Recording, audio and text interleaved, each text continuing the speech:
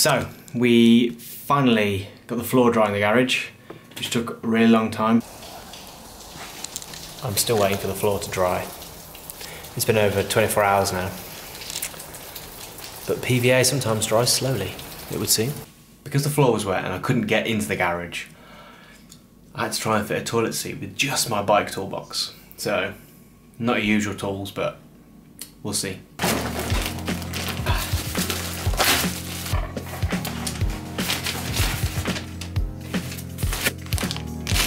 The challenge is to fit the toilet seat with my bike tools, as the other tools are in the garage. And the floor's still drying. Isn't that a good challenge? Yeah. I don't know if I'm gonna be able to. All I need is a positive drive, I think. Uh, and so we were able to start filling it with things. So here goes. Taking the garage out. This is my side. That's Andrew's side.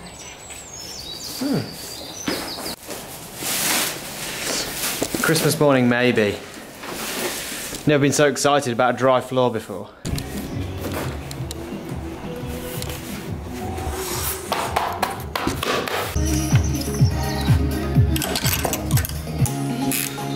Uh, the idea now is I didn't like the fact that it was twisting like it would be like that.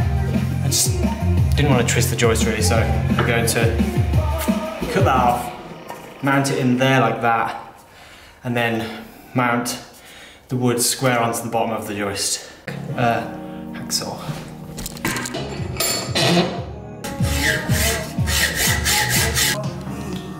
What's wrong with the cheese? Just try. Is it mouldy?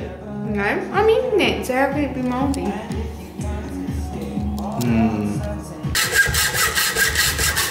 Noise. No. 25 mil, and that will bang in quite nicely.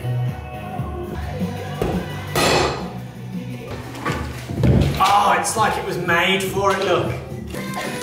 So we've started to fill the garage full of stuff, haven't we, Lucy? Yeah.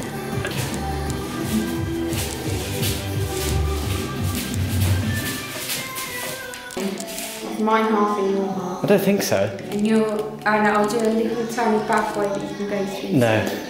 Uh, Ooh, this is slippy here, this floor. We've installed the temporary pull-up bar. It's very good now. Now the floor's sealed. Bike area, which will be